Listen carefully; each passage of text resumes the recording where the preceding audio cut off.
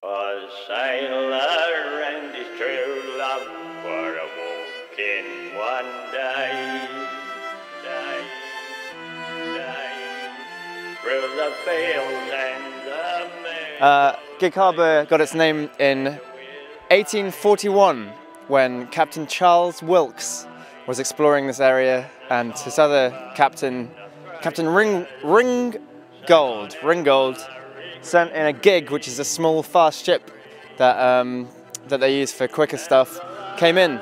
So it's named after that gig that Captain Ringgold's men came in. And uh, then 26 years later, three fishermen came and settled here. Uh, and it built up from there into this delightful harbour. It really is very peaceful here.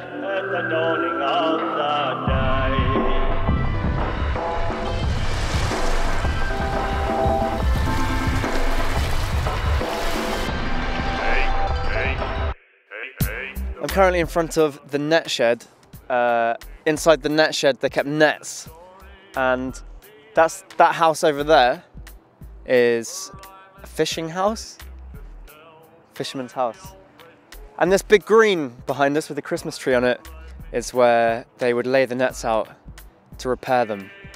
And now it's got a Christmas tree on it. This this is not a working netting shed. There are other ones that do work, but another one has been converted into a lovely clubhouse. So uh, yeah, it's a nice place.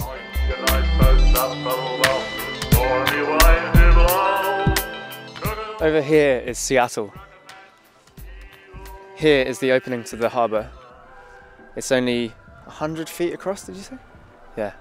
The fact that it's so narrow uh, means that it's very sheltered, which is why it's an attractive harbour for prospective moorers.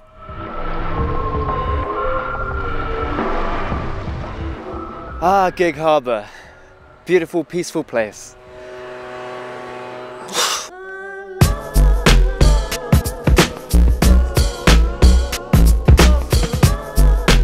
Um, so I'm standing in front of the hammering man.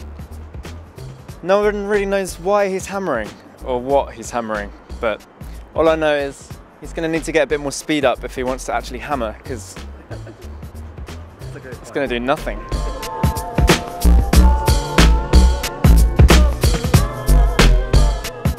So we're outside the market, um, and it's on three different levels, but uh, you don't even know that you're on a road. When you come out, you are though. So we'll find that out.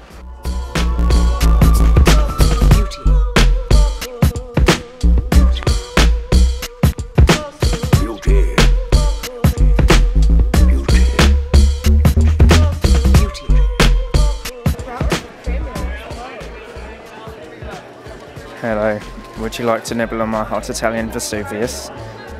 Be careful, it might erupt in your mouth. Or maybe prefer a bit of my English banger. Banger! Can't come to Seattle and not have a piping hot coffee. Um, I don't normally drink it, so I don't know what's going to happen.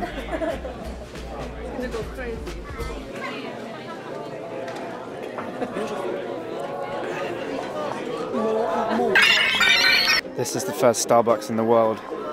Ugliness may frighten us. I am frightened. I know that my face frightens you.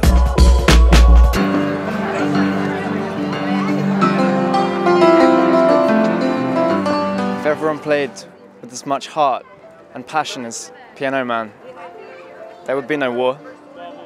There would be no death. Play on, Piano Man. Play on.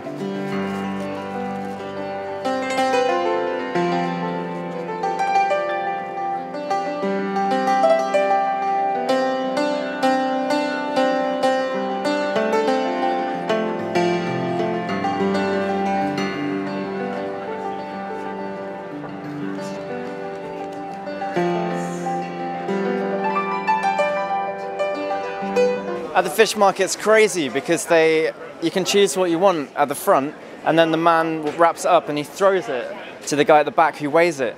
It's exciting.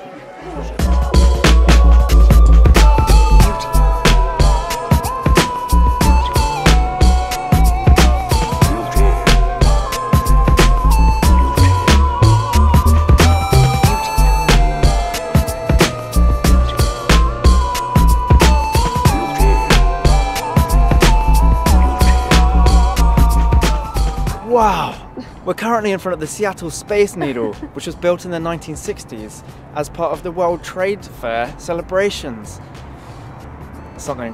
Uh, it was built to um, inject space with rainbows and fresh beats to combat global warming.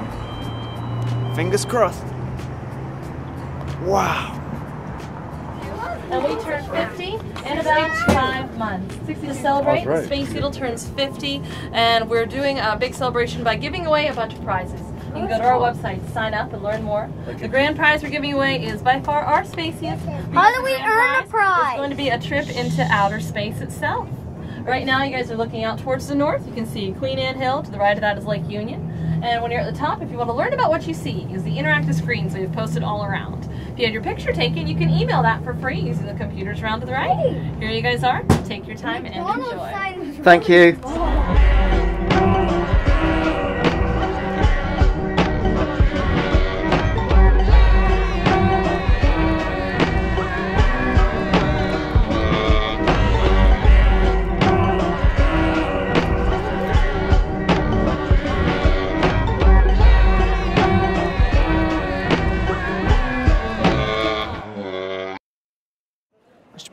Sparkly balls. Dance by my sparkly balls. Please sit down and by my sparkly balls.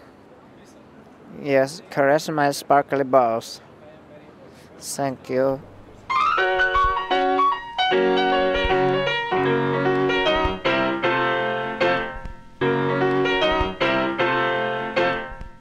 When I was a teenager, I used to spend hours poring over the Archie McPhee website and imagining all the delightful things I could buy. I've just been in there.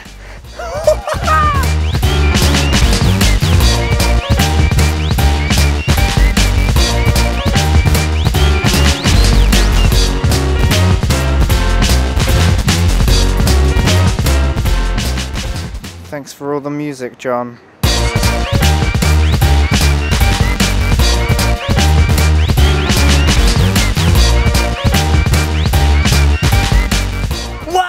Wow! Uh, we're currently outside the Safeco field uh, in Washington. No, yeah, Washington in Seattle. And behind me are literally hundreds, if not thousands, of drunk people. Um, because today is Apple Cup. Wow! Wow! Oh, here! Go dogs! Yeah! I'm supporting Huskies today. Uh, and I don't know much about American football. It's Huskies versus Cougars. I do know how to get drunk, so I'm going to do that, and hopefully the rest will follow. Cheers. Say something. Uh, go Huskies! Go G Dub! Go dogs! Yeah, there you go. Go Cougs! That's what you need. Go Huskies right there, baby. Go Huskies. Say something. Go dogs! Go dogs. Woo! Yeah. Say something. Hey, go dogs! Go dogs! Woo! Say something. What's up? Go dogs. Say something. Go Cougs! Go Cougs! Woo! Thank you. Uh-huh. This guy right here, fucking terrible with his red beard, and yeah, yep, bad. Go Huskies!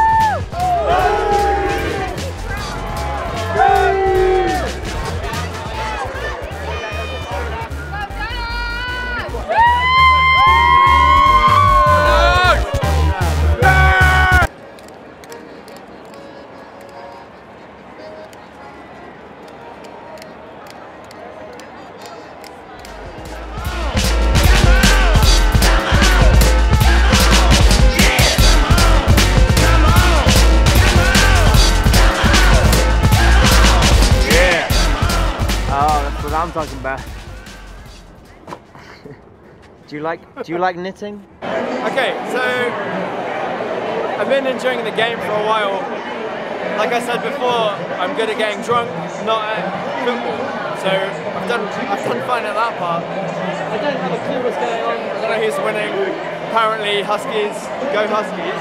Oh no! Why? Why'd you let him put that hat on? This guy doesn't agree with me. But uh,